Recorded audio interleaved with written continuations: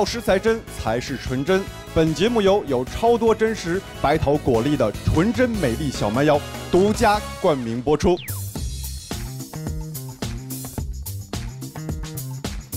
今天的美丽小甜品是用有超多真实白桃果粒的纯真美丽小蛮腰制作的燕麦酸奶，大家快来学吧！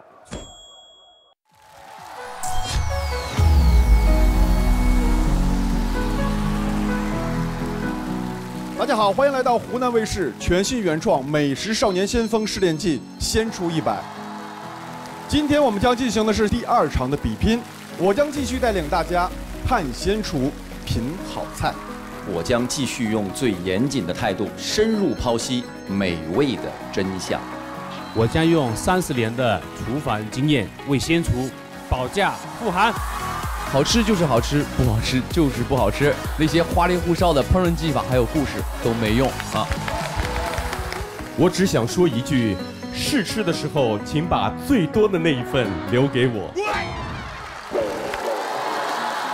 非常期待今天先厨们的创新菜品。珊珊，第二期又来了，你到底是为了前锋，还是为了我们的先厨？哎，这么尴尬的问题就不要问了，明显有答案，当然是为了我来的。对，我是想看你在这个舞台上慢慢发胖。还要有什么？还要有极限吗？现在已经是我的极限了。这次呢，我不想再做晚妹了，我要来这儿学点厨艺，争当厨房一枝花。当然了，能够决定先厨们去留的，除了我们五位先厨推荐官之外，更主要的意见还是来自于我们身后姐姐品鲜团成员的意见了。你们准备好了吗？加油！我们现在马上把上一场获胜的五位先厨请上场，有请风味李子峰。陈明阳、天饭于重建，好帅，帅！上一场获胜的五位首关先厨，将在今天遭遇五位新的挑战先厨，他们将两两进行 PK，最后能留下的依然只有五位。但这次你们的压力更大了，我们希望你们能够守关成功，好吗？加油！好。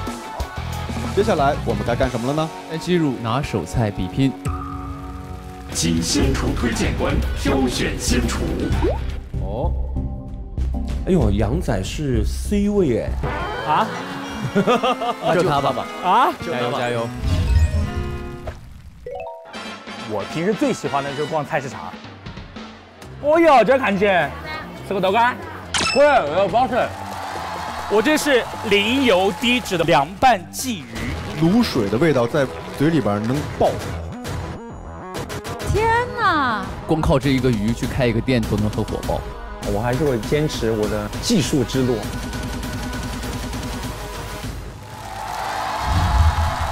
杨仔，你选出你竞争的先厨，有盐帮弟子、巧舌神探、有正青年、继承者，还有国民女婿。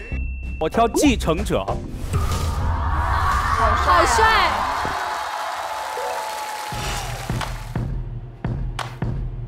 老板好。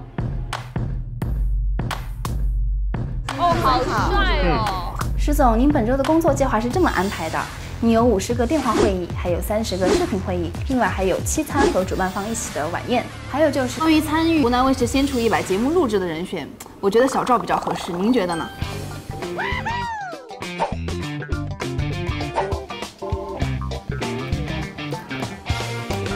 我不要你觉得，我要我觉得。妈妈总裁小明哥上身。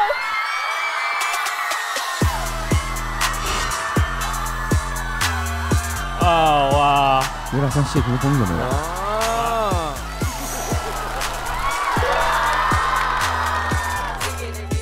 哇哦！没有，你 wow 一声，潜台词都说出来，让三个小姐姐听听嘛。珊珊的 wow wow 在哪里？哇，好亮！哦，那我的 wow 在哪里？哇，柳岩姐姐没了。哎，他直接忽略你。没有。大姐，很棒。谢谢谢谢。作为第一组要出场的，我要跟子毅先打一个预防针啊！我们的杨仔的实力非常的强，你被杨仔挑中第一个过来，我还挺纳闷的。你还很纳闷的，对不对？啊完全没有想到。啊哈，都自己备好了刀，应该很厉害吧？他刚刚那个 VCR 呢，只是显示了他一帅二真粉，没有展示任何跟厨艺相关的。啊，这个已经不重要了，一般。这个不是做美食的节目吗？这个不是已经够了吗？因为我们侧重点不一样，我们主要是从菜品看人品，哦，看它综合的魅力。他们不是看人品，他们是先品人。那子毅，你你今天的百宝箱里面带的是什么？我带了一把锤子，带了一把什么？带了一把锤肉的锤子。所以你今天的菜跟肉有关。啊啊，还没有好，理我没有，还好还好，还好它到底是锤肉还是锤骨头的？啊，没有，这个是锤水果的。啊 哦，不是子毅，你现在这个样子感觉是来玩的，你不是来比拼的。你真的有拿手绝活吗？呃，还可以的。那介绍一下今天你的拿手菜是什么？我拿手菜是，嗯嗯好像忘记了。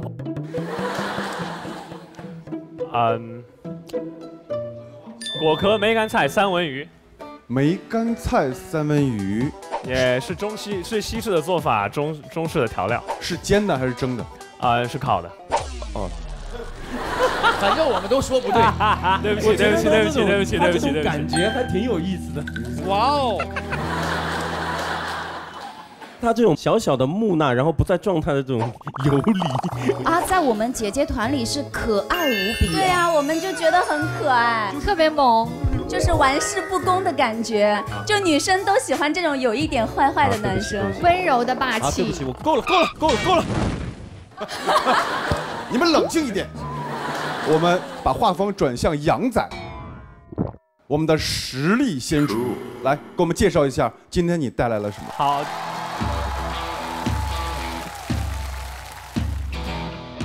首先是我们今天的主食材，这个叫猪鼻筋。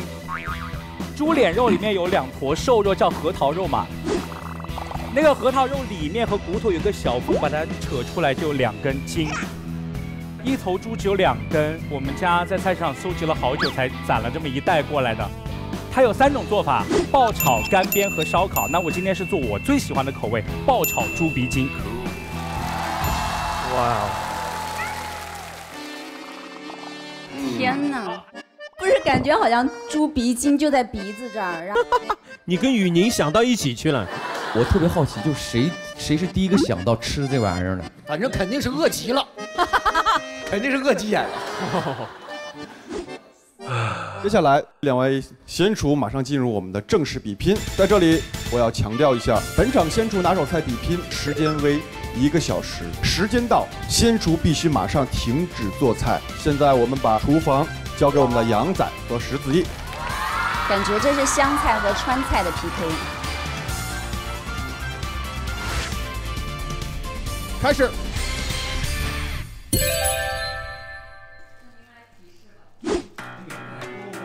哎，杨仔，你现在怎么处理这个？呃，把多余的那个骨头还有那个有一些脂肪给去掉，啊，你为什么不提前做这个功课啊？这样很浪费时间哎。就是现场做会比较好一点，就是弄完之后直接焯水会比较方便，而且口感会好一些。没有，我觉得杨仔非常好，把食物的这种呃本来在厨房里面就展示给拿出来，比赛就应该这样子，这样才是真正的公平公正。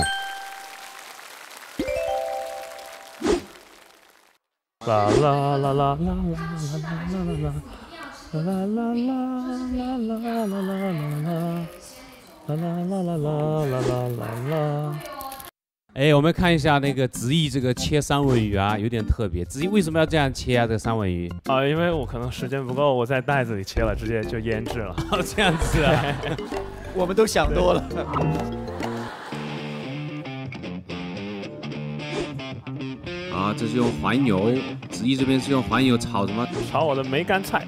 黄油炒梅干菜，这是一个中西结合的哦。通常我们都是用用那个色拉油、猪油来炒，是要晾在这个三文鱼里面的馅吗？还是裹在外面呢？啊，是塞在里面的，是是对三文鱼有油，然后烤完之后油会流下来，会到梅干菜上，就跟我们的扣肉是一个样子。外面还有没有酥皮包子啊？也有在这里，哦，是吗？耶，卷起来，卷八个。哦，所以哎，这道菜估计是惠灵顿烤牛肉演变过来，好厉害，是不是？啊哈。哇，你们说的我们都听不懂哎，什么叫惠灵顿烤牛肉？呃，西餐里面有一种很传统的一种牛肉的烹饪方法，那么这款牛肉是整条的那个牛柳，再裹上一层酥皮。它最重要的是里边要塞满了那个炒香的蘑菇，肉里边夹蘑菇是吧，老师？就是他用那个牛排把这些蘑菇卷起来，肉夹馍，肉夹馍。一个原理吧，一个原理吧。被雨您一说，怎么那么接地气呢？我听懂了，我听懂了，这下，要不然我听不懂。杨仔在切什么？杨仔泡姜子，因为每个四川人家里都会有一坛泡菜，我把我仅有的泡菜全部拿过来了，就是这一坛。哇哦，老盐水吗？是我一六年自己在重庆生活的时候，妈妈带过来的。哎，我特别想尝一下那个杨仔的那坛泡泡菜。哎，我也想吃。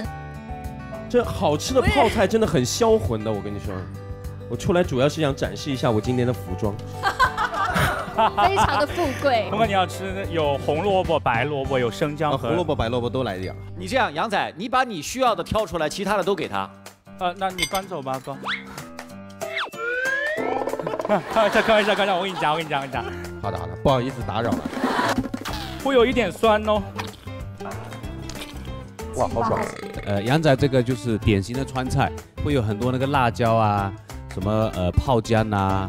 这些料头切得碎碎的，所以这道菜呢，应该就非常入味的那种，属于口味菜来的。所以今天的这两道菜差别很大，一文一武，对，一中一西。这个是一个小窍门哈。哦，这样去去芒果皮儿啊？嗯哼。所以子怡还真的是有厨房的经验。哇，真的快很多哎。所以你这个芒果接下来用在哪里啊？芒果和白味增做一个酸甜的酱汁。听着就好吃。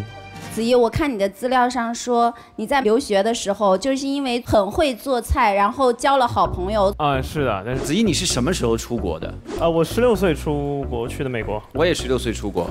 哇哦，哇哦，哇哦，哇哦，哇哦。You more like it. Yeah, more like it. Yeah. 他完全。是属于那种范儿的那种，你知道吗？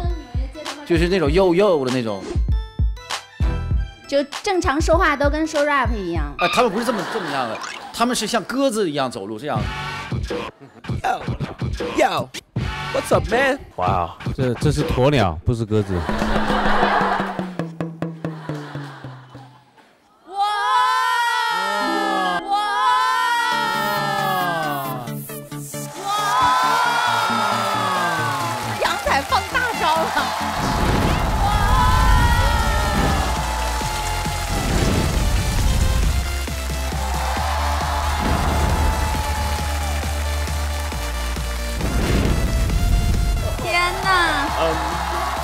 看见没有？这就叫锅气，锅气，锅气，锅气。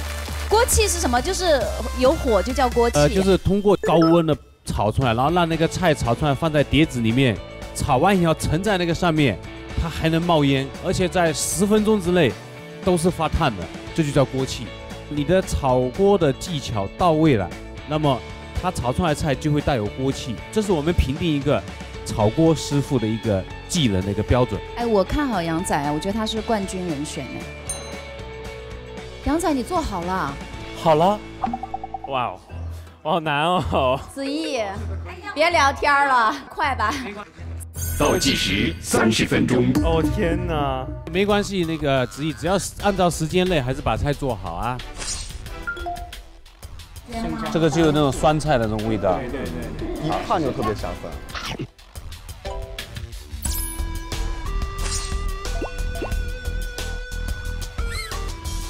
这个猪鼻筋炒完之后，它有点脆的，它有点像那个金针菇的口感。但很奇怪啊，就是那种脆脆的感觉，我以为会像鸭脚筋的那种感觉。不不，它会很很软，然后很脆。它真的做的很。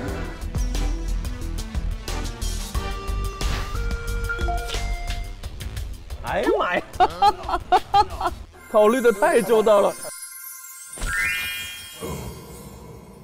这是自己蒸好了带来的吗？蒸好了带来的。蒸的饭到现在还能吃啊？不能吃了，我们吃。这种危险的事情，让我们来。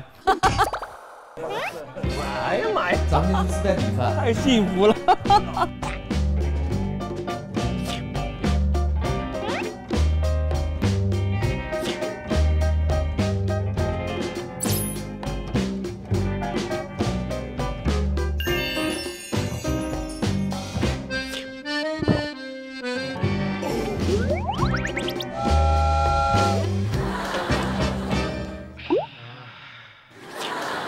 小胖，你自己吃了吗？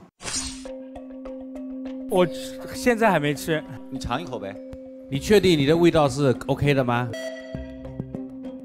确定吗？我觉得 OK 的。OK OK OK。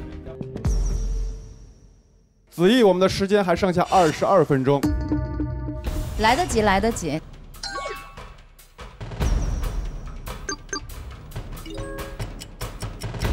我觉得时间应该是 OK 的，就要看烤箱里面的情况。对，烤箱它那个皮还是没有起颜色的。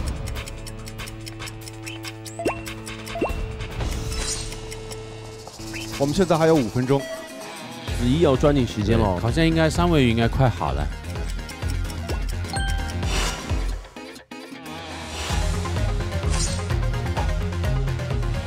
一看子怡就是平时是有下厨的，他刚才那个切那个酥皮的那个下刀啊，他是竖下的。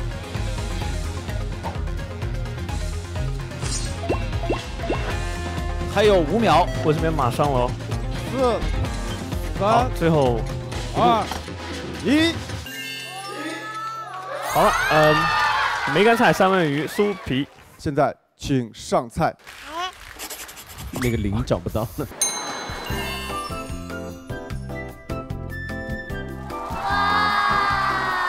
觉得你这个菜就叫梅花三弄吧。好的。老师，请品尝梅花三弄。好香好香。哎，这种菜就特别适合女生，哎，下午茶发朋友圈，对不对？子怡，我们的呢？Yes sir。是。给最大一坨给你啊！好呀，好好。哇哦，这个这个酥皮里边的这边是熟了吗？还是差一点，差一口气。好了，两道菜我们都已经品尝完了，大家聊一下吃完之后的感受。首先这个猪鼻筋哈，呃，因为我让杨仔自己试了他的那个菜，然后我跟他确认一下是不是他自己想要的味道。我觉得基本上你已经把这个食材，呃，发挥的很好了。谢谢周老师。貌似其实是一个很家常，没有什么不需要什么创意的，但是我反而有的时候会被这种菜感动，因为里边并不是那么强烈霸道的味道。我觉得这个的把控其实是要花一些心思的。我觉得杨仔把这道菜的创意隐藏得很好，所以我基本上觉得这道菜是一个完美还有加分的一个一个一个呈现哈。杨仔这个，我觉得首先很好吃，谢谢。然后但是呢，就是口感太像金针蘑了，是吧？那个金针菇，呢金针，我们那边叫金针蘑。哦，我觉得食材这个东西，在我这儿呢，我觉得如果金针蘑的口感能替代它，而且还比这个猪鼻筋便宜，那我为什么不去吃金针菇呢？子怡的这个菜是你自己创意的吗？嗯，是。这个精神是满分的，但是这个酥皮稍稍的厚了一点，这个有点影响口感。作为不太吃做熟的三文鱼的我的话呢，我觉得这个鱼做的是非常的不错的。谢谢。呃，只不过是吃不出太多梅干菜的这种感觉，因为梅干菜作为一个辅料，我们都知道，其实它是一个比较霸道的味道啊、呃。如果要是再多一点，我能吃到更多的梅干菜的香气的话，这个就会非常非常好。了解。其实呢，我觉得今天这两套菜呢，我讲公平的来讲，就是子毅的这道菜会更有难度。这道菜我觉得有点让我很感动的，就是这是一道典型的西餐的菜，里面用到一些中式的调料，它就是国际视野、本地精华。所以呢，我觉得子毅这个结合的很好，尤其这个梅干菜。当然了，刚才讲如果梅干菜的这个风味，如果能够让它更大的展现，了解，我觉得这道菜它就有灵魂了，也有灵感，也有情怀在里面。厉害哦，学到了。坦白讲，因为杨仔是我心目当中的冠军人选，我也是第一次吃猪鼻筋，我是非常喜欢的。我从这道菜，我能看到你背后的故事，看到那些娘娘每天说啊，杨仔你来了，猪鼻筋给你留好了，我能看到那些画面。但是今天你遇到了一个很强的对手，就是子毅。对于我们女孩子来说，刚才你的那个我起了名字梅花三弄，我不懂要多酥脆，但我喜欢像那个麻薯的那种软糯的感觉，就是你们觉得是诟病和缺陷，但我们女孩子的口感是觉得像甜点，还蛮好吃的。子毅就是以为他是个青铜，结果他是个王者。对于我们女孩子来说，吃一点下午茶餐点就觉得特别特别的好吃。就从他们两个做饭，然后到上菜，再吃到他们的菜，他们是完全不一样感觉的男生。就是子毅呢，就给人的是谈恋爱的感觉。他在那里做菜，就像过家家一样，然后做的这个菜呢，也是约会必备的凉菜。我知道要讲什么，你要讲杨仔是过日子的感觉，哎，对，所以就纠结了，对，又想有恋爱的感觉，又又要有个过日子的感觉，那怎么办呢？都要是吗？成年人的世界没有选择，都我知道大家心里都很纠结，我也一样，但是我们还是要进入我们最紧张的投票环节。左边是子毅，右边是杨仔。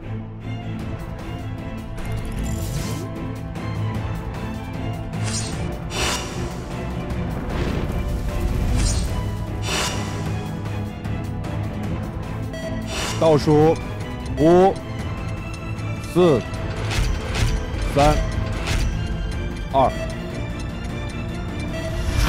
一，停止。我们推荐官推荐的是石子毅。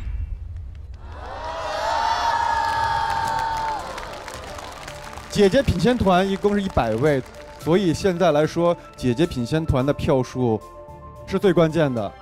所以也要看一下身后小姐姐们最终给出的投票结果，请看。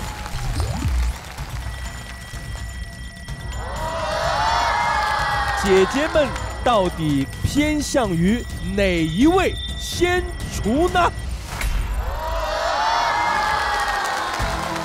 啊，帽子都吓掉了。哈哈哈哈现在两位先厨同时进入待定席。接下来我们要做的是，接下来进入第二轮的拿手菜比拼。上场的是李子峰。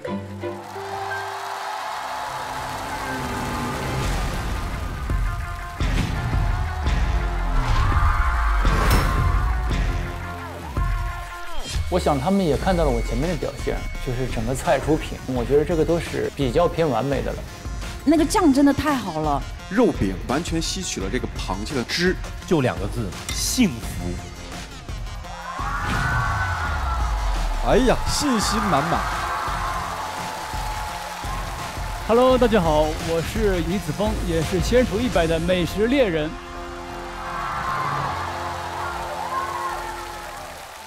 团长，他那个自我介绍跟你很符合。不会做饭的模特不是好演员。啊，因为他关注我微博了，可能是抄来的。你们俩的经历真的很雷同哎。那先亮个学习。啊。以以菜说话。明明就有点偏心，还偏要摆正自己的姿态。嗯，好的，就请子枫挑选一位你要对抗的公类先厨。我我想选一个有证青年吧。哦。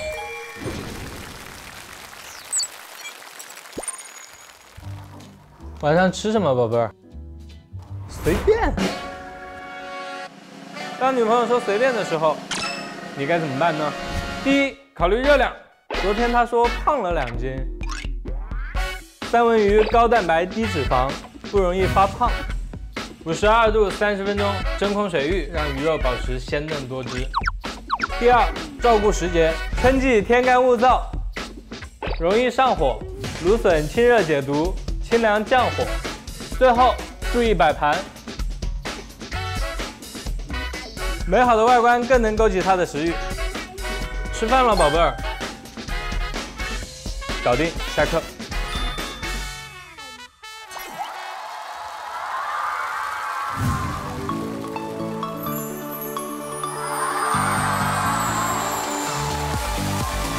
欢迎赛程。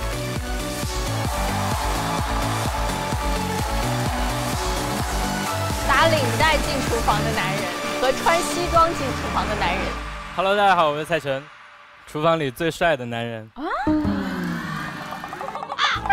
子枫，子枫，子枫，你别笑。你这句话在现场讲太有挑衅性了，对不对？伤害了很多人。对，今天就很有压力。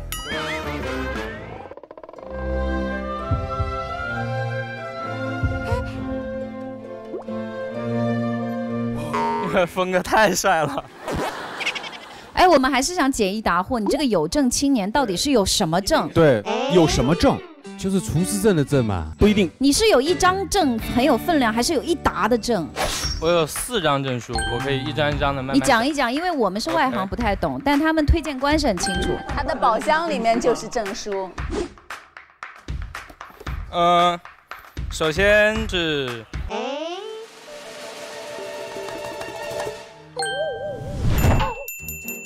这什么证啊？你们看得清楚啊？结婚证，结婚证。那我们没结过婚，我哪知道？真是。你结婚了？对。哦，了解了解。还有什么证？我还有两张是，这个是职业资格证书，果然是厨师证啊。然后是中餐烹调师和中餐面点师。哇，红案跟白案都拿了，所以你是几级的？什么级别？三级，三级，高级。高级的哈，哇，看来今天巴西对德国啊。哇，这那这个证含金量够高了。是，所以这个呢，这个是有补贴的哦。真的吗？这个可以向国家申请这个补贴的。林哥，我是中级的，我中级烹调师。你也可以去申请的，真的。一年能给多少钱？呃，他好像是有两千多块钱补贴。对，这个我觉得已经很不错啦。很不错。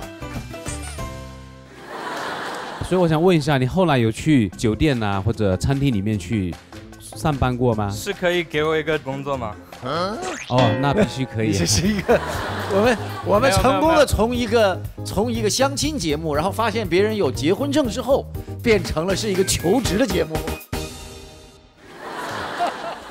我还有一张澳大利亚最高西厨的证书。哇，这个我们不懂，这个赵老师、林大厨去看一下。可以给老师们看一看，很佩服这个学校的。啊，明白明白明白。呃在澳大利亚，它有一个非常有名的、全民都知道的，是一个是一个职业学校。然后他们不是一个学学两学几个月就可以出来就业的，他们是非常严格的。然后出来之后呢，基本上还不能直接就业，你们要先做学徒嘛。嗯，要有三百六十个小时的事情。对，所以等于说他不但有这个纸上谈兵的能力，更有实地作战的本领。好的，这下子枫有点压力了。我还要告诉你们一个信息哦，它这个烹调烹调的这个呃记证证件上面的分数呢是多少？八十分呢、这是很高分。八十分算是中上的。那那您当初考了多少分？我是七十二分，真的假的？真的真的他的分数比您还高。是哇，我觉得在座的先厨推荐官，有些按证书来看，好像真没有他级别高哦。你说什么？嗯，但实战经验他没有你们多。对，后来的厨艺呢，经过这个实战的经验，不断的攀升，那是肯定的。来，很棒。哎，但是很重要的一点哦，蔡成今天准备的菜是什么菜？今天准备的是龙虾烩饭，然后是一个是西式的吗？西式的，那就是 lobster lobster risotto。一个 risotto，对，就非常传统的一个烩饭。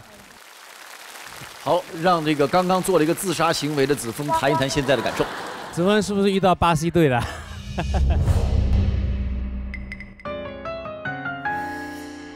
我我觉得他确实很厉害，但是我觉得有压力的话，可能对我来说更有动力。所以我今天选做的是一道我家乡的姜辣系列的菜。哇哦！姜辣凤爪。但我今天给这道菜加了一点一点小小的改良，把呃牛蹄筋和鸡爪和猪脚三种富含特别丰富胶原蛋白的食材放在一块儿。哇，应该很好吃。这样，第一个它的口感会更加丰富，还有就是线上的小姐姐们也可以多多吃，因为它确实是可以美容的。嗯，今天保鲜里面带的是一个，呃，配合吃这道菜的一个甜品。因为这道菜的口味比较比较辣和有点姜的那味道比较浓郁，所以吃完这个之后，再吃一口甜品，我觉得这样会让你有种幸福的感觉。哇，好贴心！好，两位先厨准备好了吗？OK。下面把我们的厨房交给蔡成和李子峰。三、二、一。开始。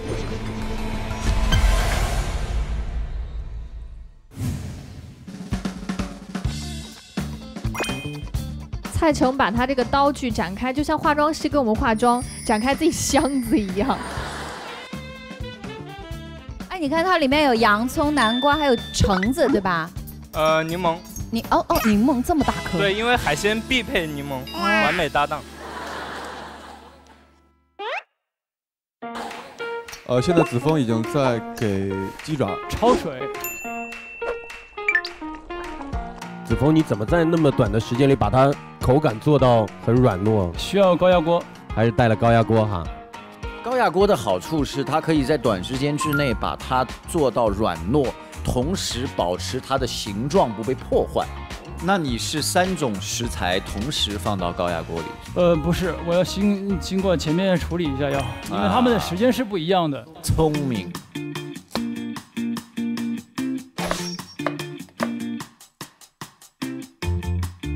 好，那边已经开始在，好像要料理那只龙虾了。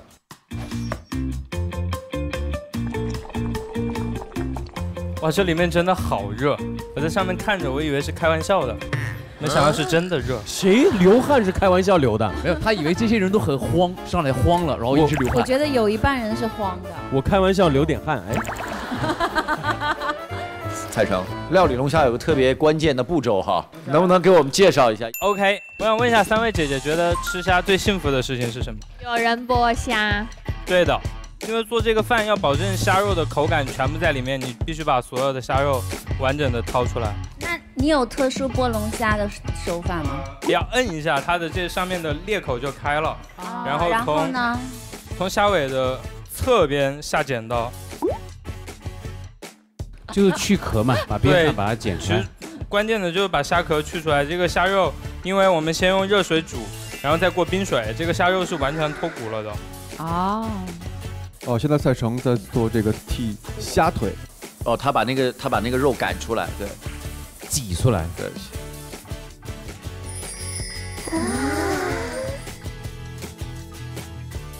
所以我们八个人就这么一丢虾，能够吃吗？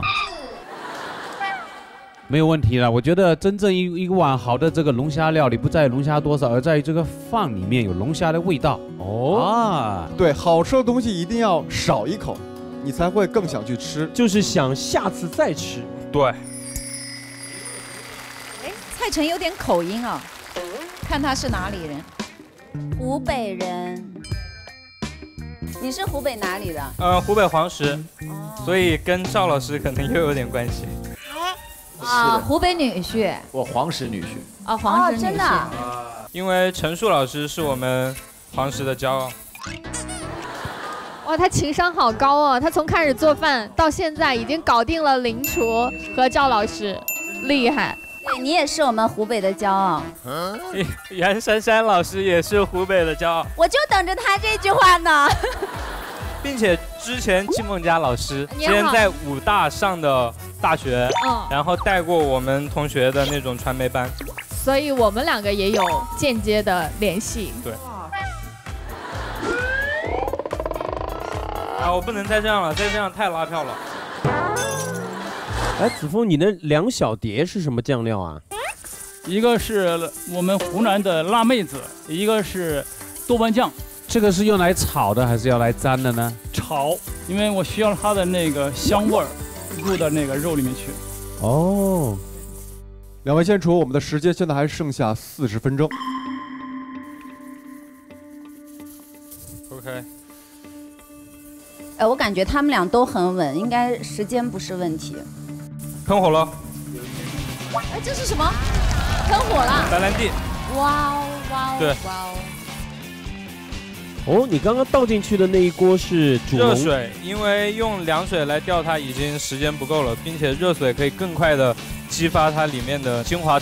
龙虾壳已经炒过油了，然后已经把它壳的那些精华炒到锅底了。哦这是西餐里特别重要的，就需要那些在锅底的东西给到它味道。酒是激发锅底的那些精华的。哇，很专业。你是要把那些辣椒都放进去吗？对呀、姜辣。哇哦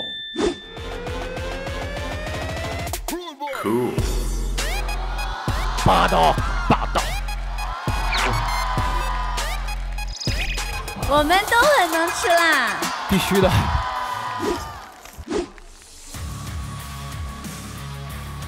你刚刚看到那个蔡成一个小动作哈，你就知道这个他的工作是有多么的规范，就是真正的西餐厨师 working on the line，就是他们经常有透明厨房，外边可能就是客人，他尝味道的时候是不能当着客人尝，他一定要转过去，转身，转身。嗯，我们现在还有五分钟。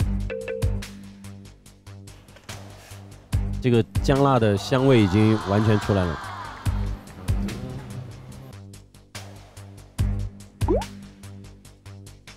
我可以了。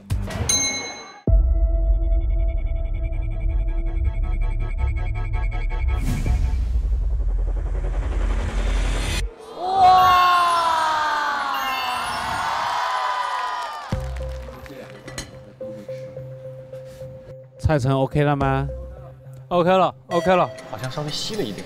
对对对，我觉得是稀里。不过没关系，我们期待。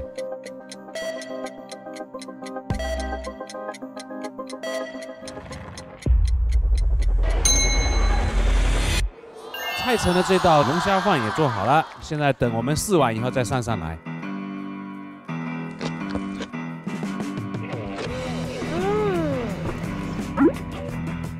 是不是放了很多干辣椒？其实并没有那么辣。它是刚开始吃没有辣味，它的呃后劲儿有点足。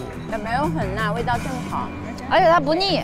我我给你们准备面了，因为这个里面的汤汁拌面是最好吃的。来，好，谢谢。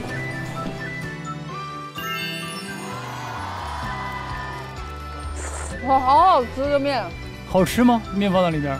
就很有嚼劲。嗯，因为我是完全不能吃辣的人，但这个完全不辣呀，对，但它有辣椒的香味。这还不辣？不辣呀，哪有螺蛳粉辣？吃了那个比较辣的东西之后，吃点甜的会综合一下。甜点揭晓，好暖啊！好，菜成那个米饭好了，就赶紧上来吧，不然放久了它要稀释掉。好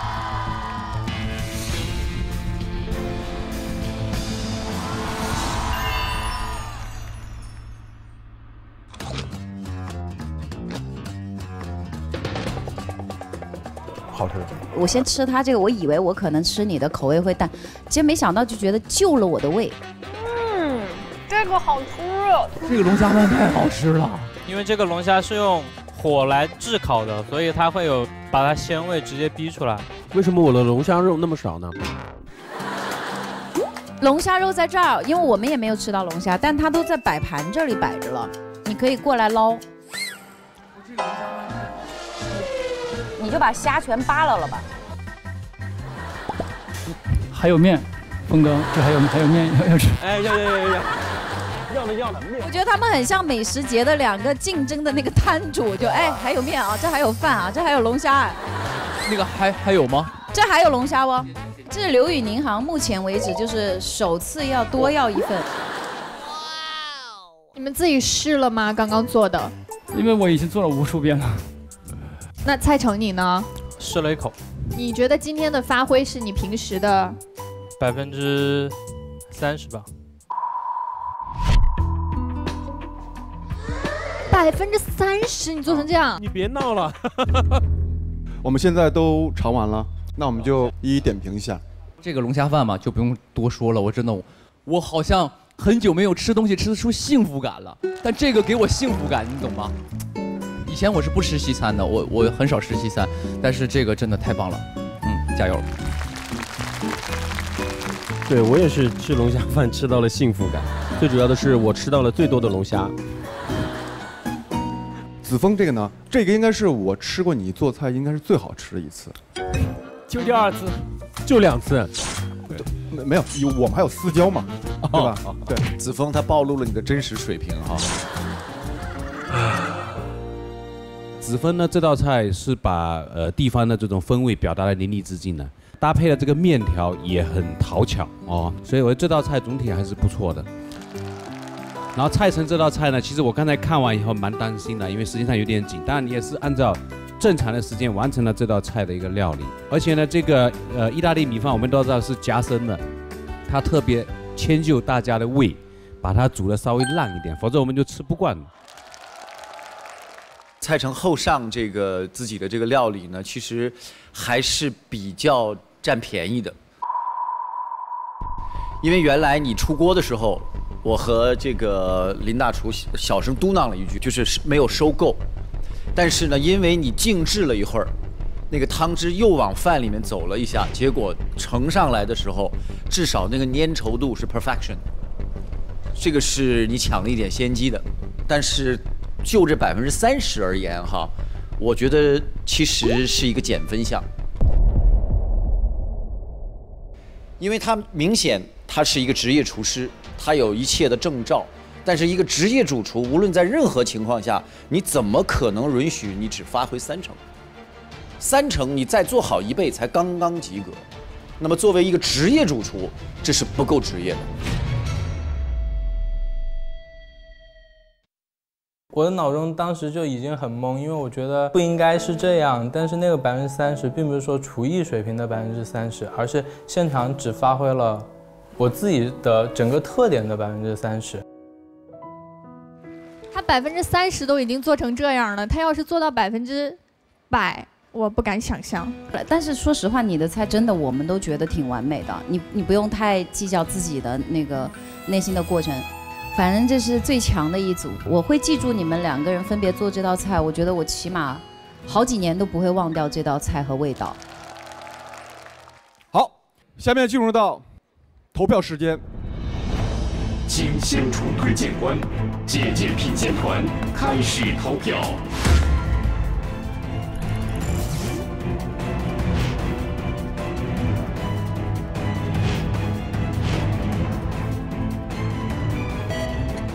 五，好想他俩都留下来哦。三、二、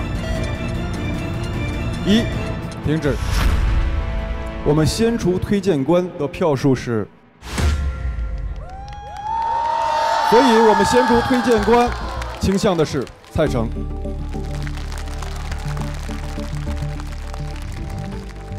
看一下蔡成和李子峰最终我们一百位姐姐品鲜团给出的最终票数。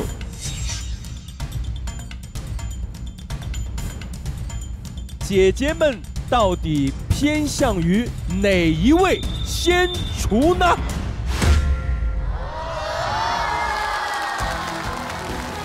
所以现在蔡成十九票，李子峰是八十一票。我们这边呢，领先的是李子峰，恭喜你。二位先厨现在是平局，进入下一步的待定局。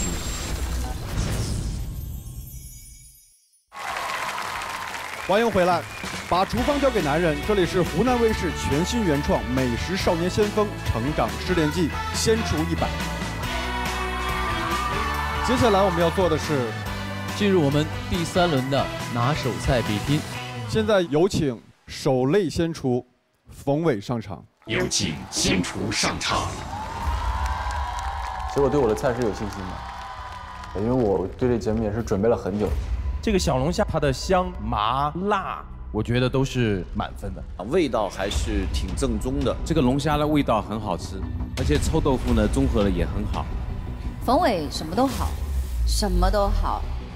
我不太愿意去遇到一个厨艺水平不太行的一个对手，我还是希望有一个高强度的、高品质的一个厨艺上的一个 battle。哇，呼声好高啊！哎，他好干脆哦，很利索。嗯，大家好，我是先出特种兵冯伟。冯伟的个人魅力，姐姐团们都非常的清楚。啥？八十号小姐姐，因为我老公也是兵哥哥当兵八年。你觉得冯伟身上哪些军人特质是最我觉吸引你的？得他比我老公真的又帅的，我是想，如果我老公长那么帅，盖儿老公能看到吗？真的，能看出他就是那种，就是很有条理、规律性和整洁性。对对对对对，所以我会一直支持你的。其实他是军嫂嘛，其实军嫂和军人和战士之间这种是有有情愫的。谢谢谢谢谢谢。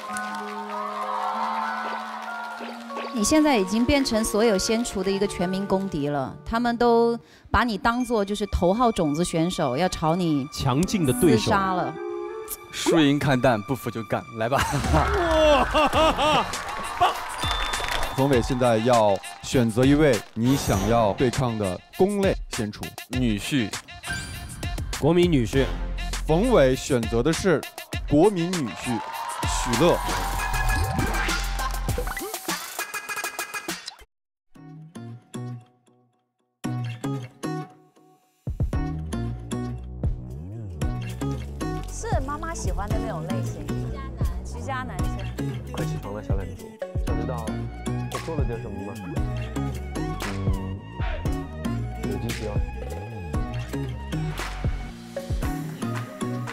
还差点什么？快吃东西了。爱心早餐呀，还有纪念日快乐。有请新厨上场。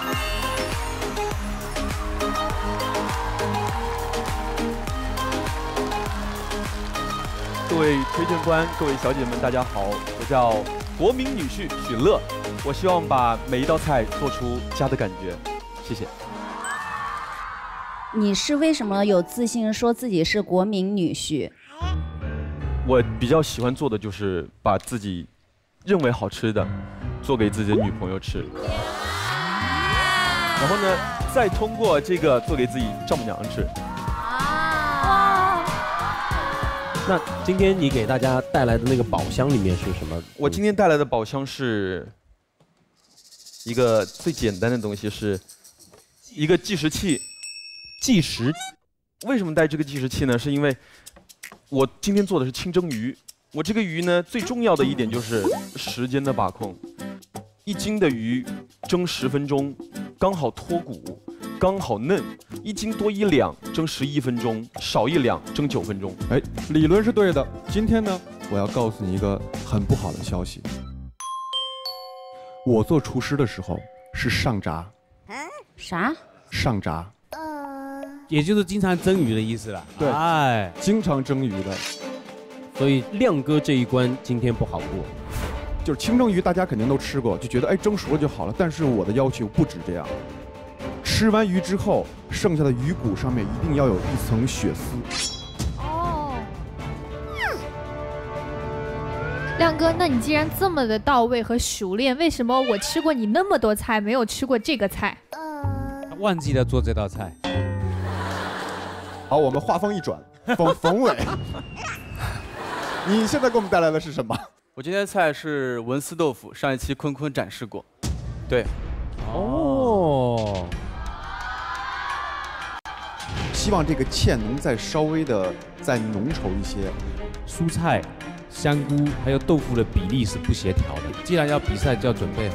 否则这样变成一个真的是一个豆腐羹。你为什么要做一个别人做过的菜呢？因为我也比较刚，所以我就一定要做这个。哎，有性格。我今天带的东西，这个砧板，对，砧板，砧板 mini，因为它太大了，这个重量有十几斤，我就用了一个小号的。我还带来自己的刀，好讲究啊！下面我们就把厨房交给许乐和冯伟，准备倒计时，三、二、一，开始。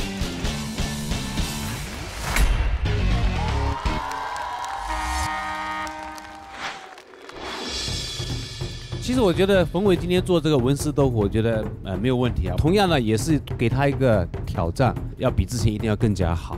上一次因为炖鸡汤时间不够，就非常影响那个文思豆腐的这个喝的口感。哎，今天你打算怎么解决？对呀、你怎么解决呢？我带来了高压锅，听话。哎，好的，赵老师教导的好。所以这个文思豆腐其实这个鸡肉啊，决定了这个菜的一些基础了。对对。所以这个鸡肉真的非常重要。呃，我这个鸡是我自己，我的战友帮我从衡阳弄来的。啊，真的啊？对，我今天早上刚跟他告别。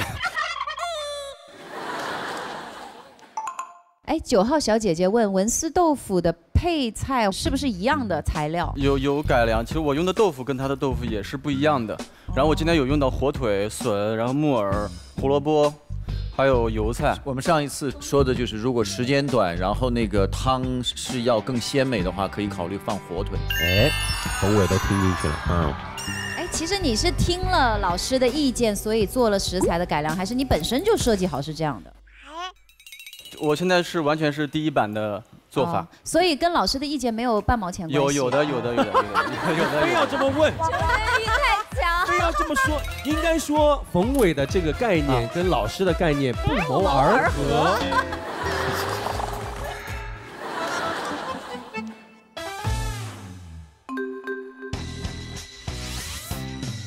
清蒸鱼，呃，其实这是一道简单的料理。它其实也是最安全，也是最危险的，做不好马上就翻车了。林大叔无形的在给乐许乐对压力。许乐已经咽了好几口 这个唾沫。他如果是比赛形式做这个菜的话，其实细节很多，包括这个鱼的改刀。清蒸鱼我一般不会选择鱼腹部分横向开刀的，因为越是新鲜的鱼，它蒸完了之后就越会面目全非。哦，我一般是在鱼的肚脐这里开一刀，感觉他们在聊一台手术。然后手进去挑断这个鱼肠，把这个鱼的这个内脏全部取出来，然后再改一个花刀。你们聊的太血腥了，这全是画面。呃，烹饪本来就是这样子的嘛。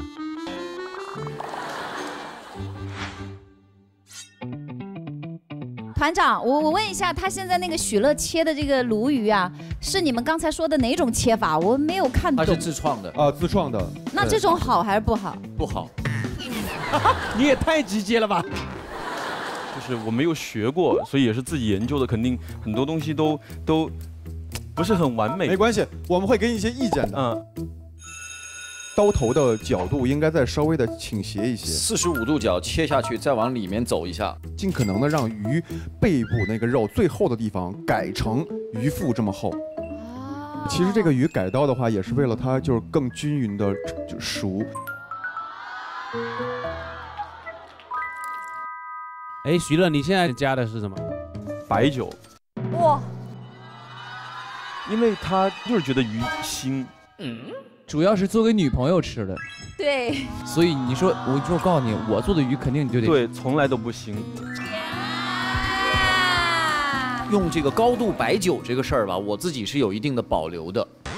我们纵观全世界的美食的这个烹饪的方式，比如说我们中国人用大量的料酒，然后国外呢他会用红酒，但是你会发现它的酒精的纯度都在二十五度以下，所以这个我也蛮期待的，它这个呈现。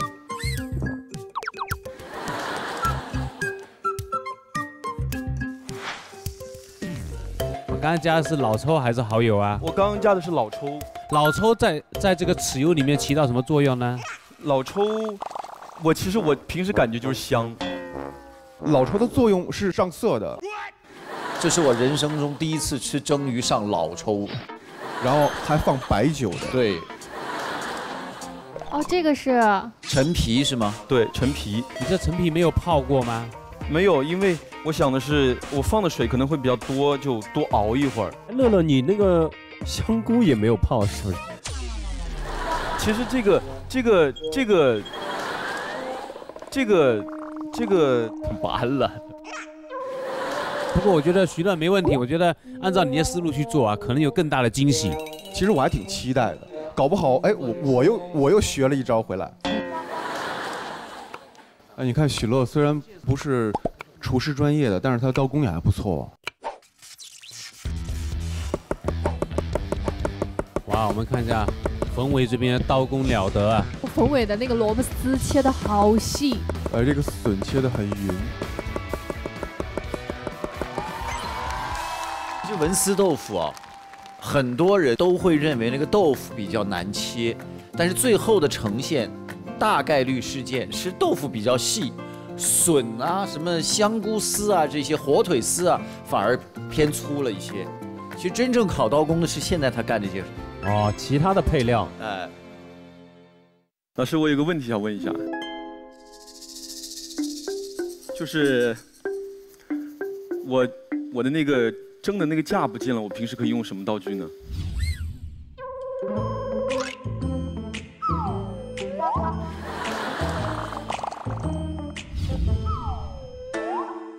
筷子可以的，筷子，筷子是吧？或者是利用另外的一个盘子倒着扣在里面。我来帮你，来，我来帮你，我来帮你。你看我我篓子里的架子不见了，要要看一下我这边有没有吧？我这边也有蒸箱。这个可以吗？那这个放在这里，好吧？哦。或者这样子安全的，把它水弄出来，拿，拿碟子放在上面，好的，谢谢，啊，这样放，这样放。好，你试一下看，看起来会不会会不会粘住？会粘住，好吧？嗯。我今天买的鱼是一斤一两，所以按照我这个比较笨的方法，我蒸的是十一分钟。其实那个蒸鱼啊，这个你肯定是特别在行的。就是为什么说有经验的师傅他不太看这个这个计时器呢？是因为不同的鱼，它的蒸的时长也不一样。而且蒸鱼呢，基本上和它的重量只是有一部分的关系，不是百分之百由重量决定的，它是由鱼的厚度决定的。你们你们让人家乐乐好好做个鱼吧。徐乐，我觉得你就应该做自己，你想怎么做你就怎么做，不用听这些老师的。哦，冯伟开始切豆腐了。你看冯伟的那个拿豆腐的方式非常特别哈，他在这个塑料盒的底部开一刀，然后把那个盒整体的提上来，这样的话他的那个豆腐一定是拿的非常整齐的。看冯伟的刀工哈，来了，哇！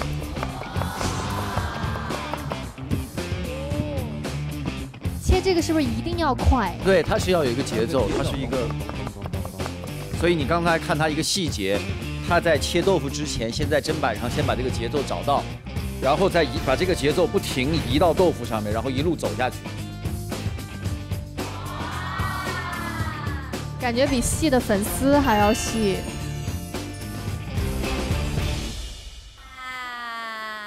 你们没看过做饭吗？高压锅呲气儿，你们挖什么？你们的挖点这么低吗？你家都不做饭吗？我们这是小姐姐团还是小娃娃团？好，冯伟这边开始勾芡了。对，我要勾芡了，调味了。你你会发现冯伟是，对，完全是按照自己的节奏来的。哎，其实挺好的，非常好。对对对，自己的节奏特别重要，稳住自己的节奏。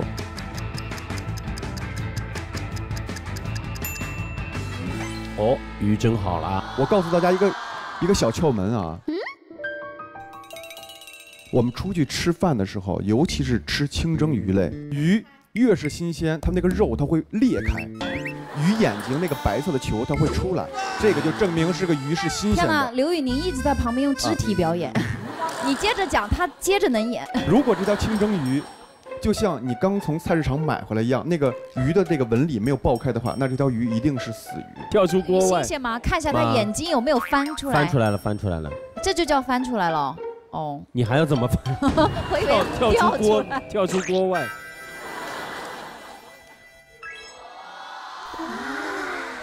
其实我对这道菜特别的期待。你看它的蒸鱼的那个酱汁哈，它是围着那个鱼倒了一圈，哎，他没浇上去哈。对，这个是有什么讲究吗？这个的话呢，通常我觉得他做的是对的，我觉得他做的是对的，这是对的。在我们厨房里面是不能把这个豉油淋在鱼上面，如果你把它淋在这个鱼上面，没那么美观，是这样子的吗？徐乐？是的，是的，是的。是的我我把您的意思表达了哈。谢谢老师。我觉得如果是正常的蒸鱼豉油淋上去还是 OK 的，但是加了老抽可能真的就不要淋了。因为其实每个人的口味不一样，咸淡不一样，所以我觉得蘸多少，自己把控可能稍微会方便一点儿。那你应该旁边上个味碟。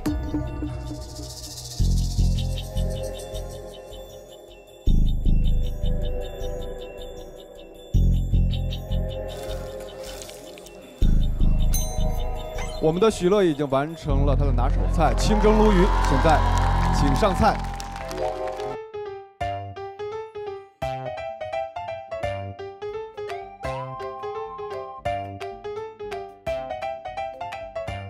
哇，好吃，好吃的。哎呦，你看这就是别人家男朋友，别人家系列又加一。这个石油肯定是肯定有问题。有一些组合它是不不可能出现奇迹的。您怎么样？这鱼？但它这个鱼完全没有鲜味儿了，已经不是很好吃。冯伟现在已经完成了他的拿手菜文思豆腐。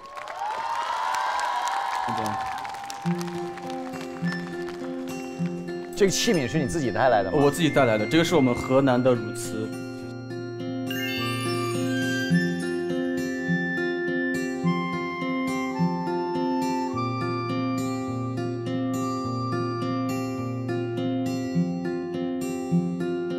味道比上一次那个要浓郁很多了，对对是不是张老师？它它这个胡椒还还可以，就是最后就那胡椒味再出来。这个胡椒的味道加上去，它的汤的鲜味也有，没错然后会加点个性化的这种，让人家留下记忆点。我们现在都尝完了，我们发表一下。这个文思豆腐哈，文思豆腐呢整体呈现非常的棒，你完全没有让我失望，非常好，谢谢。这个文思豆腐呢，胡椒加的很妙。如果是胡椒粉，你在勾芡的时候提前，这样的话就就会很呛。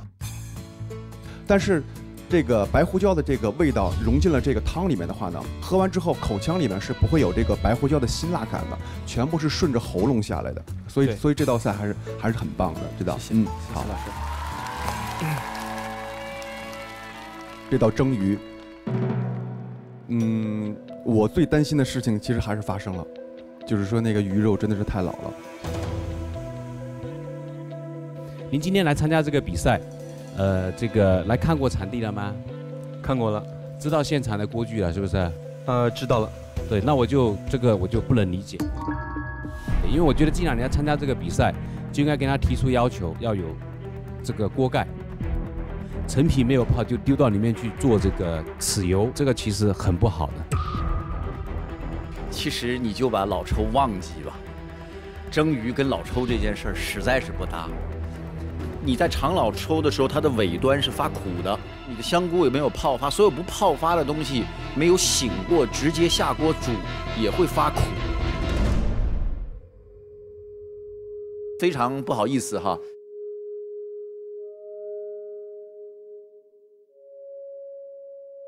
所以就奇怪，我们就觉得嫩。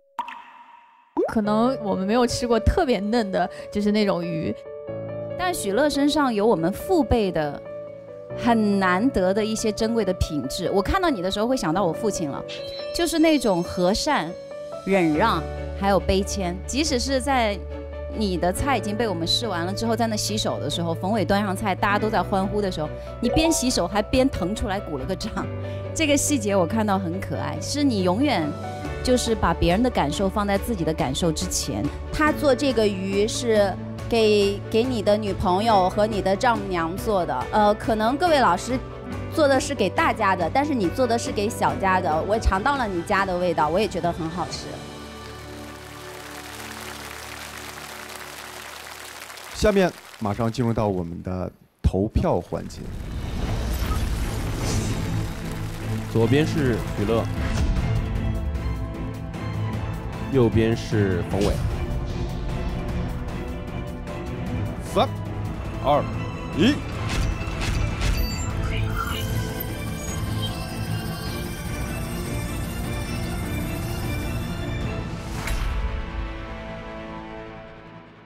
我们先出推荐官，五票全票全部投给了冯伟。看一下最终我们一百位姐姐品鲜团给出的最终票数，请看。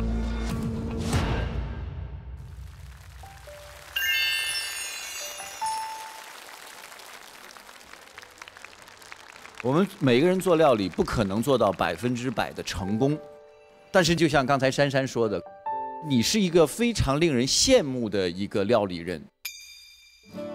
可能我们大我们所有人都在为大家做饭，你是为小家做饭的，烹饪给你带来的那个幸福感是满满的。但是呢，这一次呢，可能我们真的做一个选择，我们选择冯伟惨烈的继续，选择你幸福的离开。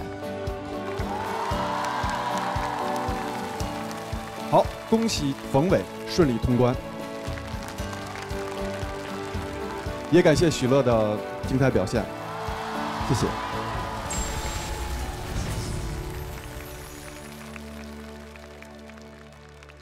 我们接下来要做的是进入我们今天第四轮的拿手菜比拼，有请于重建。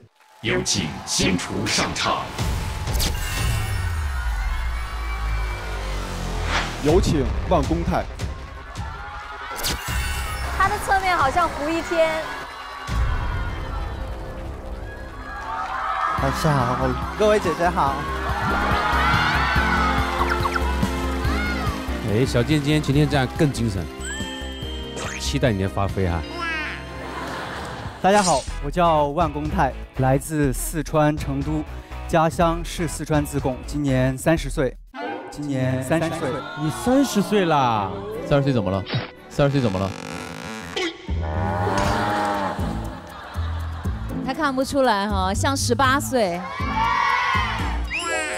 哎，公泰做的什么菜啊？公泰，我做的是冷吃兔。冷吃它是一种烹饪方法吗？它和热的区别是在哪儿呢？它相当于就是一道凉菜，凉菜的辣的兔兔肉。哦。小健健，你是今天要做的是什么？它叫做鲷鱼转生春卷。所以小健这个也是二次元里面的一个。对，它是中华小当家里面的一道。我有一个小小的建议啊，就是我我上一次以为你这一场会穿那个衣服来呢。我有想过。你我跟你讲，这是爆点呐，大家能记住你。二点五次元你玩二次元，你不玩 cosplay。而且身上要偷偷藏一个那种音响，然后自带音效。噔噔噔，对对对对。所以在这个环节上呢，你就被扣分了。我争取下次穿。好了，两位先厨准备好了吗？准备准备好了。下面我们就把厨房交给万公泰和于冲建，准备开始。三、二、一，开始。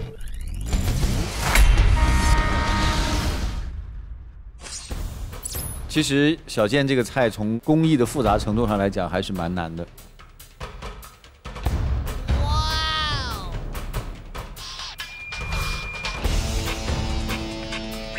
盐帮菜到底是什么样一种有特色的菜系？是一个四川菜的一个菜系，它分盐帮菜和盐商菜。盐商菜是那种达官贵人吃的，然后盐帮菜是那平民老百姓吃的。据说盐帮菜是以前呢那个地方有有那个什么井盐，井盐嘛，挑盐的，井盐是就是就在它那个井里面井里面的盐。中国有一句老话叫“鲜不鲜一把盐”，这个是川菜的灵魂。哦，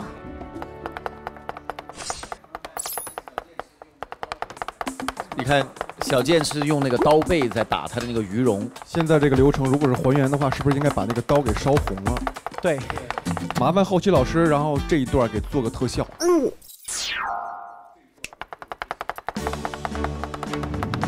我将第三把菜刀直接烤火加热。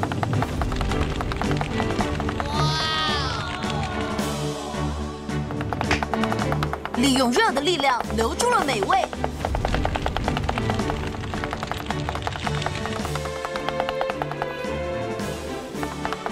好热，好热。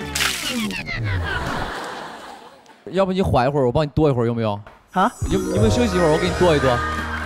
来，可以吗？好，来来来。推荐官可以的。你看像刘宇宁这样帮忙不算犯规。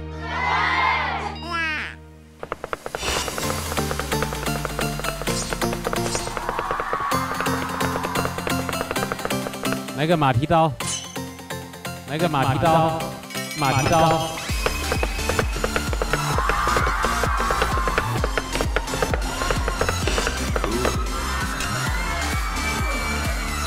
这是厨师之间知道的，叫马蹄刀，有什么好处？就是当因为这个这个动作是很容易使到肌肉僵硬的，当它有一个有一个节奏的话，它会长时可以长时间的坚持下去。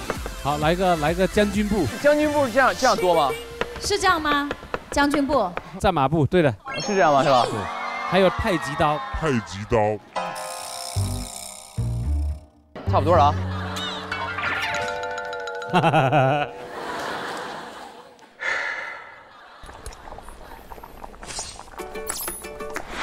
公泰现在把兔肉放到带辣椒的水里面去煮，是不是就让它这个兔肉的里面也有这种辣椒的味道，是吧？对。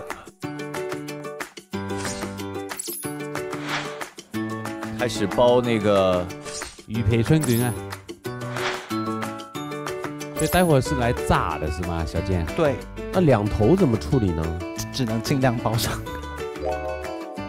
这个油是特制的油来炒的，对不对？是道道全的吗？我们只用道道全的。对。现在我们的时间还剩下最后的五分钟。我现在要烤我的兔肉了。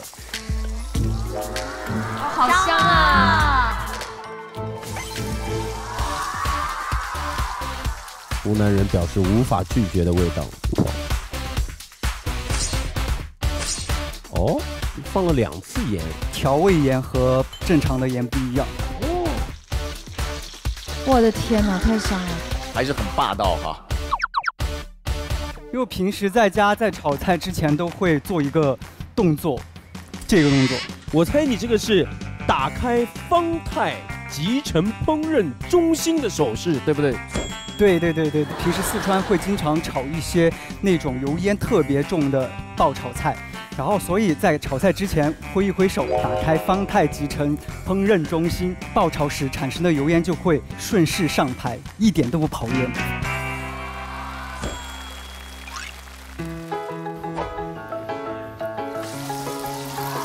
啊，这个是煎炸啊，煎炸出来呢就不会那么油，而且更香口，而且更容易定型，不会碎。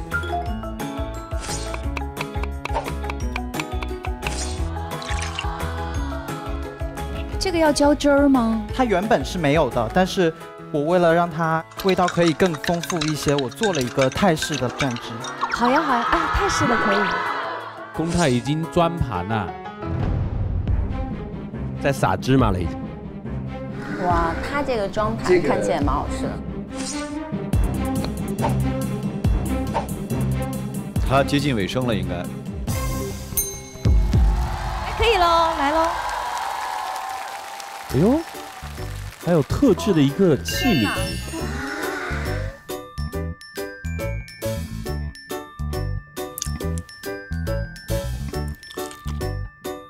好吃吗？好吃，但是很辣，而且有点太甜了。没入味，对，看着比吃着好，而且不够不够干。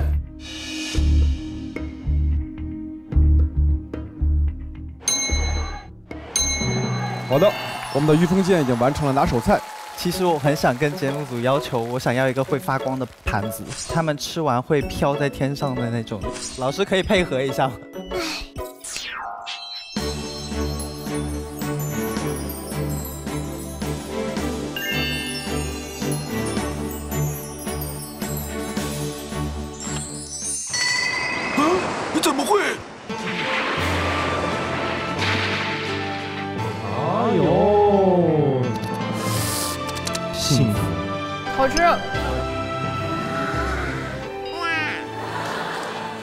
我们现在都尝完了，对，那我们就一一点评一下。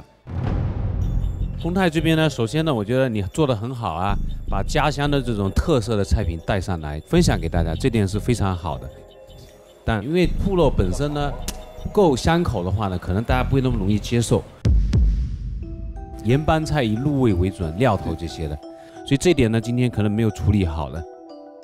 我们都知道这个中华小拆家，中华小拆家，啊不是小当家，小拆家，你想哈士奇啊？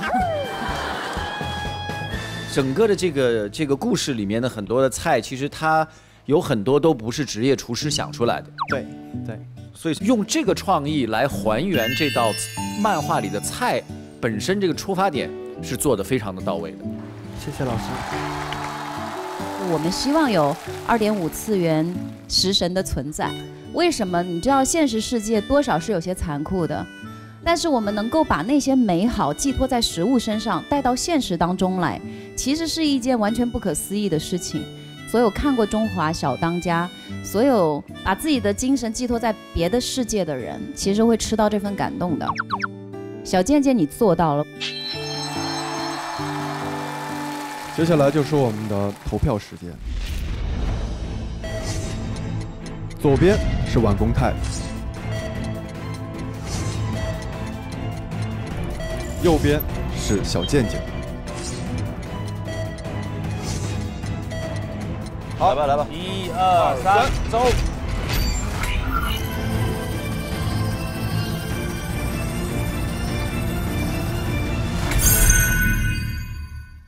我们先中推荐官选出的是于重建。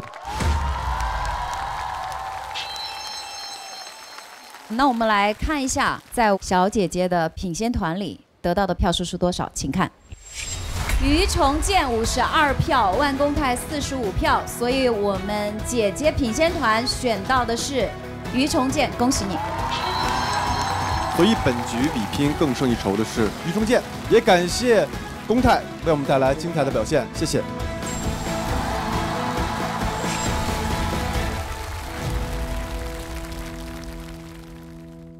欢迎回到先出一百，我们接下来要做的是，接下来进入今天最后一组拿手菜比拼，有请天饭，有请小蛇神探丁冠森。大家好，我叫丁冠森，我做一道特别传统的东北名菜——小鸡炖蘑菇配玉米贴饼。哎呀妈呀，小宁，俺们家那边的。完了，刘宇宁这个到时候给你点评那个要求非常苛刻了。我是天饭，我今天又带着我的实验成果来了。它是一个手动搅拌棒，用到它把鸡肉又变成不一样的形状，把一个食材泡沫化。哎呦，挑战一道国宴菜——鸡豆花。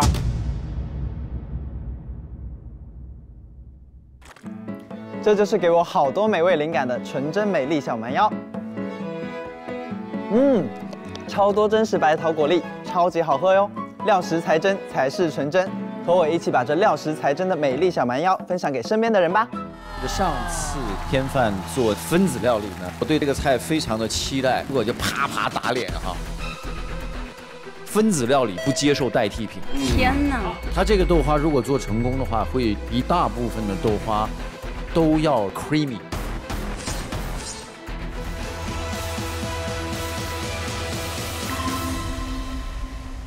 先出一百官方合作伙伴方太集成烹饪中心顺势上牌，猛火爆炒不跑烟，纯真美丽小蛮腰先除一百，待会儿见。纯真美丽小蛮腰先除一百，现在继续。料实才真，才是纯真。本节目由有超多真实白桃果粒的纯真美丽小蛮腰独家冠名播出。感谢官方合作伙伴方太集成烹饪中心顺势上牌，猛火爆炒不跑烟，集成灶全新升级。感谢指定产品道道全醇香菜籽油，让饮食更养生。对本节目的大力支持。今天又带着我的实验成果来了，它是一个手动搅拌棒，用到它把鸡肉又变成不一样的形状，把一个食材泡沫化。哎呦，挑战一道国宴菜——鸡豆花。这道菜有点难度啊。它这个豆花如果做成功的话，会比你们吃到过的大部分的豆花都要 creamy。但是这个分子料理呢，基本它呈现之前，你都不知道它到底靠不靠谱。厨艺比拼开始。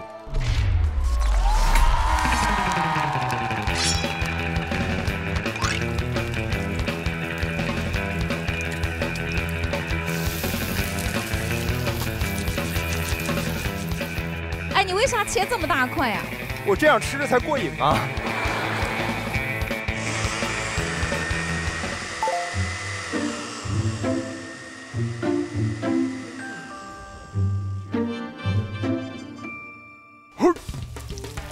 这个是这道菜的灵魂，这是真馍。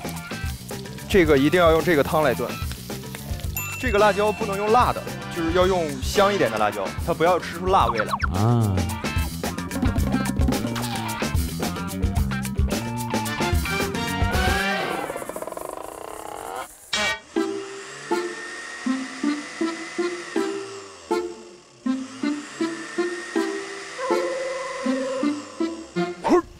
就和这个玉米面是吗？玉米面儿。哇，开始贴饼了。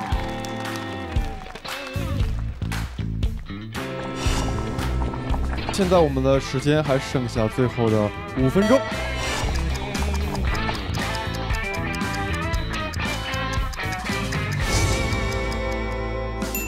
好的，丁冠森的拿手菜已经完成了，现在请丁冠森上菜。哎呀，刘宇宁这个到时候给你点评那个要求非常苛刻了。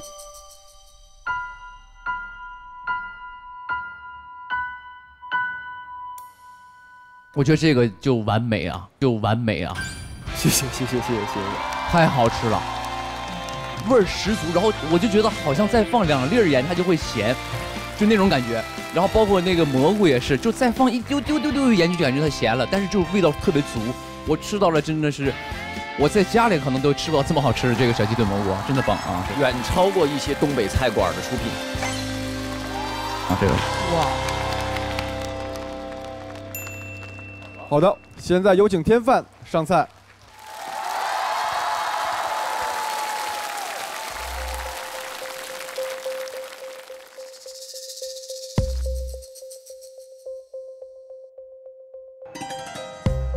上次天饭做低温慢煮的时候，我就跟小宁拍着胸脯说：“我说你都不用上去煎那个鸡，他那个出来跟你那个完全你闭着眼睛能分得出来。”结果就啪啪打脸哈。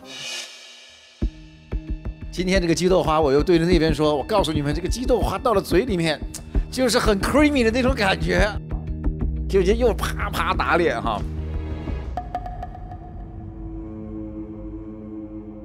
的确，这个不是一个很好的鸡豆花的一个呈现。今天我觉得最大的 bug，它就是你的那个手持的那个东西不应该用。手持棒是打不出你鸡豆花所要的那么 creamy 的一个肉泥的。分子料理不接受代替品。明白。请开始投票。左边是丁冠森，右边是天饭。好，我们倒计时，三、二、一。我们先厨推荐官五票全部投给丁冠森，姐姐品鲜团投给的是天饭。比拼又出现了平局，现在请天饭、丁冠森进入待定区。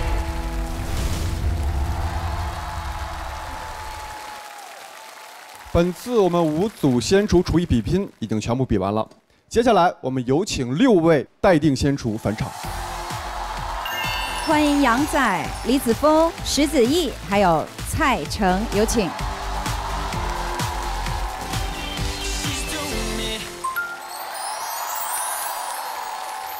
我们首关擂主直接通关的是小健健和冯伟，有三位首关的现在在待定，而我们挑战先厨们目前是没有一个进阶到下一个环节，所以最后的阶段开始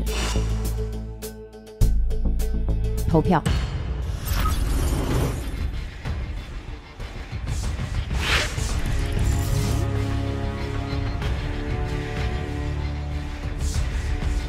几位推荐官，如果你们每个人只能推荐一个，你们会希望谁进？我选那个子芬。就子芬的话，她是一个呃模特，又是个演员，那么能够保持这么好的一种对厨房一种热爱，我觉得这点是比较打动我的。我选子毅。啦啦啦，很欣赏他的对生活的那种感觉，我觉得非常的随性，然后做菜就是一件很快乐的事情，我觉得他是挺快乐的。我说杨仔吧，我特别喜欢您的那一点，就是很有邻居家里的那种好朋友的那种味道，包括你讲话那种热情啊，然后幽默呀、都很拉近距离。龙虾饭嘛，就不用多说了，我真的。我觉得龙虾饭真的记忆犹新啊！太好吃了，我们都不想说话了已经。我也期待他以后能做出更多展现给我们和观众的一些美食。那我觉得小鸡炖蘑菇很好吃。哎，因为我是一个地道的北方人，真的是把小的时候味道都给烧出来了。希望你可以把童年的食材的记忆能尽量的多给我。三、二、一。投票结束。先厨一百官方合作伙伴方太集成烹饪中心顺势上牌，猛火爆炒不跑烟，纯真美丽小蛮腰，先除一百，待会儿见。纯真美丽小蛮腰，先除一百，现在继续。三、二、一，投票结束。